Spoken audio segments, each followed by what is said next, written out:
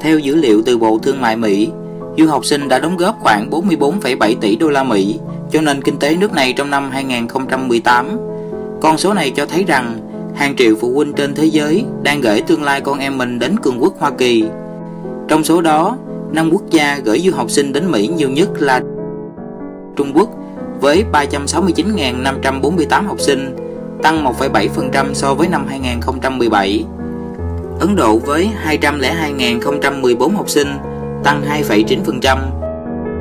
Hàn Quốc với 52.250 học sinh, Ả Rập Saudi với 37.080 học sinh và Canada với 26.122 học sinh. Như vậy, điều gì đã giúp nước Mỹ khẳng định nền giáo dục của họ luôn giữ vị trí số 1 toàn cầu?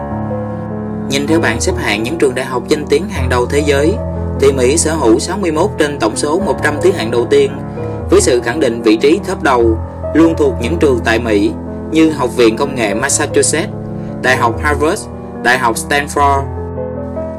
Mỹ luôn dẫn đầu về số bằng sáng chế với tổng số 57.239 bằng, chiếm hơn 1 phần tư tổng số bằng sáng chế của cả thế giới.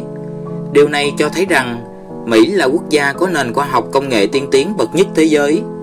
Điều này cũng dễ hiểu vì sao du học sinh luôn mơ ước được đến quốc gia này để học hỏi và trải nghiệm những công nghệ vượt trội. Chính phủ Mỹ dành ra 473 tỷ đô la làm ngân sách chi tiêu cho lĩnh vực nghiên cứu khoa học. Đây là con số cao nhất so với bất kỳ tổ chức hay quốc gia nào trên thế giới. Trong khi đó, toàn Liên minh châu Âu cộng lại mới đạt con số 388 tỷ đô la chi cho lĩnh vực này. Đây cũng là một trong những thuận lợi mà du học sinh có được khi theo học tại quốc gia hùng mạnh nhất thế giới này.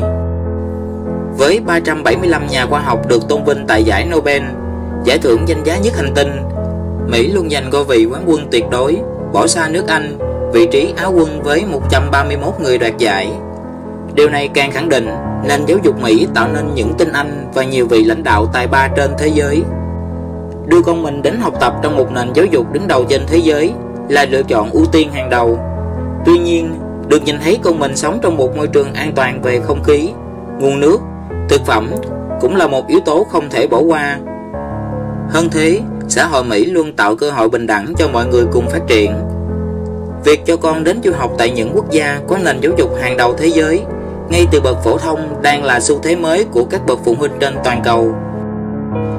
Vì vậy, công ty Thanh Tâm xin chia sẻ đến phụ huynh những trường trung học trên kênh YouTube nhằm giúp phụ huynh có thêm nhiều thông tin trước khi quyết định.